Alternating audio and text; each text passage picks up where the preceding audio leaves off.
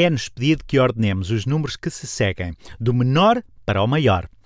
Convido-os a pararem o vídeo e a tentarem resolver o exercício sozinhos.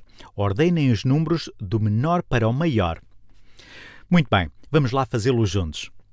Nenhum dos números tem qualquer valor à esquerda da vírgula. Nenhum tem unidades aqui. Zero unidades, zero unidades, zero unidades, zero unidades, zero unidades. Passemos então à casa decimal imediatamente à direita. Começamos pelas casas decimais maiores e vamos progredindo para as menores. Passemos então para a casa das décimas. Este tem zero décimas. Este também tem zero décimas, este também tem zero décimas, este também tem zero décimas e este tem sete décimas. Este tem algum valor na casa das décimas, tem sete décimas. Então vou deixar este aqui por ser o maior. Vamos ordená-los do menor para o maior. Agora passemos para a casa das centésimas. Este, este, este e este têm todos zero décimas. Vejamos agora a casa das centésimas.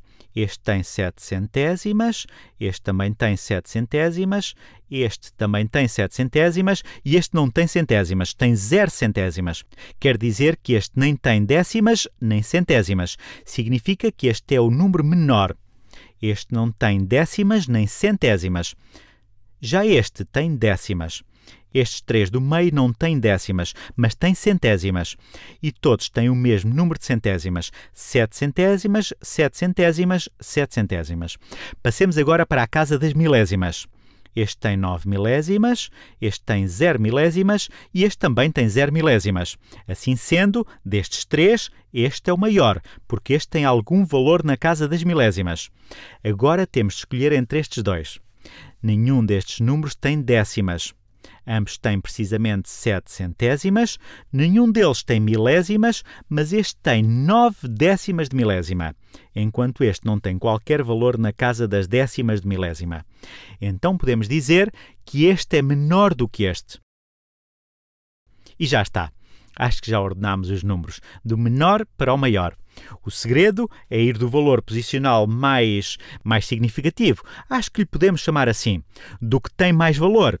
Neste caso, era a casa das unidades. Comparamos os números nesta casa. Depois, vamos seguindo para as casas de valor posicional mais baixo. Vamos seguindo para a direita e comparando os números.